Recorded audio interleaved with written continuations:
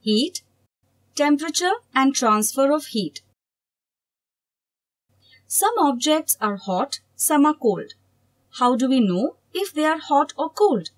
We can find out by touching. Try this activity. Take three large mugs and label them A, B and C. Put cold water in mug A and hot water in mug B. Mix some cold and hot water in mug C. Now dip your left hand in mug A and right hand in mug B. After keeping the hands in the two mugs for 2-3 minutes, put both the hands simultaneously in mug C. What happens? Both hands give you different feelings, though they are in the same water. That is because they are comparing to their previous temperature they were in. So checking for hot or cold just by touching is not a good way of measuring. Also, it can be quite dangerous. If things are too hot or too cold, they can damage the skin and the body too. Then, how do we measure heat? In fact, before that, why don't we quickly figure out what heat is? What is heat? Heat is something that is a little difficult to define, but we use it a lot in everyday life. It is something that makes things hot. As it makes things hot, we also see that it can do some work. If we heat water in a vessel and put a lid on it, the steam causes the water to move. A pressure cooker also blows off steam after it is heated.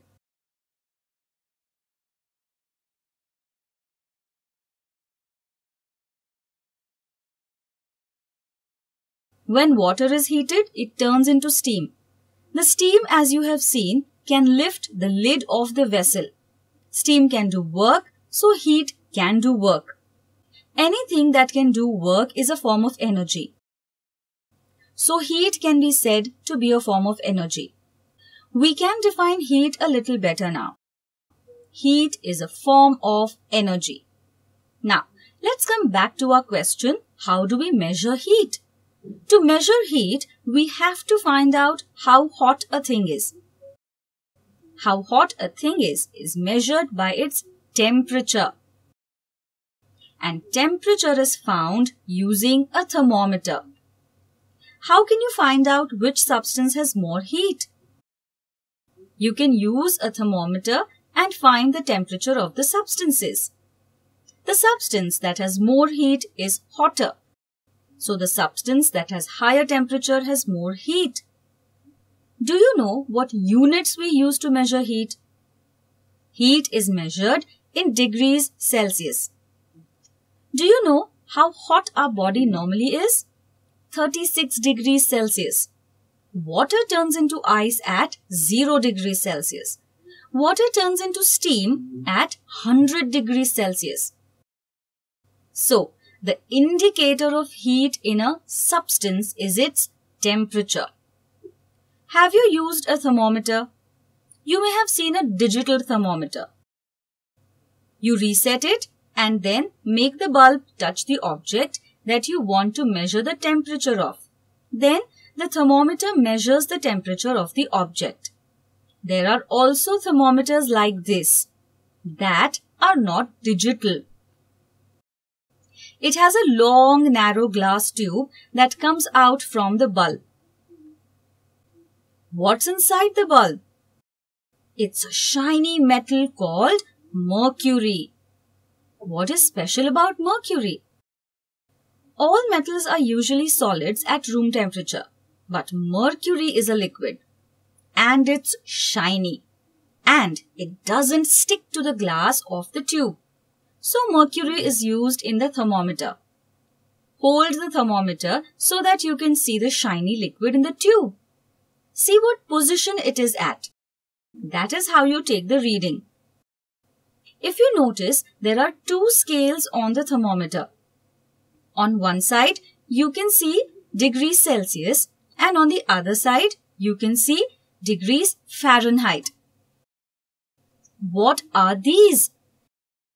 They are different scales of measuring temperature.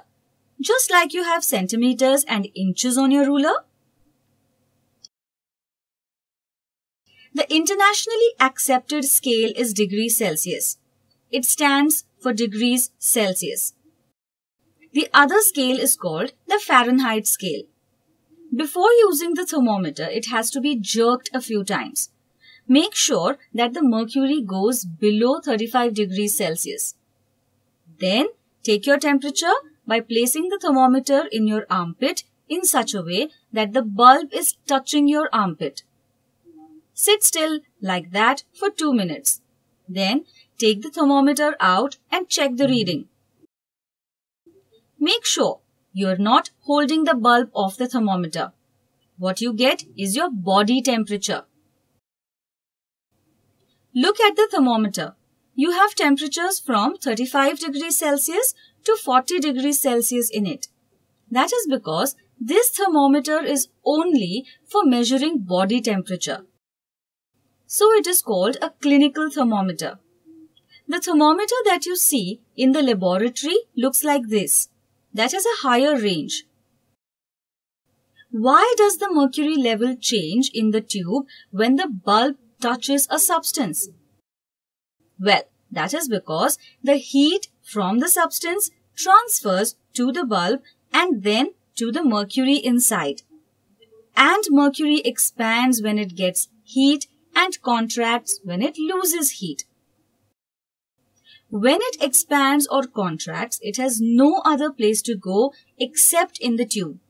So you see the levels changing when you bring the bulb in contact with different substances. Now, you are probably wondering how heat transfers from one place to another and also how heat makes things expand or contract. Let's find out about that soon. You must have seen a hot steaming cup of tea kept standing for some time. What happens to the temperature of the tea? The tea slowly gets colder and comes to room temperature. And what happens if a glass with a cool drink is left standing for some time? The ice melts and the drink slowly becomes warm and comes to room temperature. Let us see both these cases one by one. The hot tea left in the room got colder and came to room temperature. Now, which was hotter to begin with? The tea or the room? The tea was hotter than the room, so the tea had more heat in it. And now the tea is the same temperature as the room. That means the tea now has less heat in it than before. So where did that heat go? It was transferred to the air in the room. Heat was transferred from the hotter object to the cooler object. So, we have seen that heat flows from the hotter object to the colder one. The cool drink left in the room got warmer and came to room temperature. Now, which was hotter to begin with, the cool drink or the room? The air in the room was hotter than the cool drink. So the air in the room had more heat in it. Now, the cool drink is the same temperature as the air in the room. That means the cool drink now has more heat in it than before. So, where did that heat come from? It came from the air in the room. Heat was transferred from the hotter object to the cooler one. So now we have seen that heat flows from the hotter object to the colder one. How does heat transfer? It goes from a body which has higher temperature to that which has lower temperature. When you have high fever, your mother puts cold towels on your forehead. The cold towels take some of the heat from your blood and becomes warm. This reduces the heat in your blood and brings down the fever a bit. Do you think it would work if you used a hot towel instead? If you keep a glass of tap water in the room for some time, will there be a change in the temperature of the water? Not really, because for heat to transfer, there has to be a difference in temperature. Even when you have fever, you cannot guess how high it is by touching your own forehead. It is because your arms and forehead are at the same temperature. There is no heat transfer when you touch your own forehead and you feel that your temperature is normal. Now, do you understand why the same water felt hot to one hand and cold to the other in the first activity we did? What did we just learn? Heat is a form of energy. Heat makes a substance hot. How hot a substance is can be measured using a thermometer.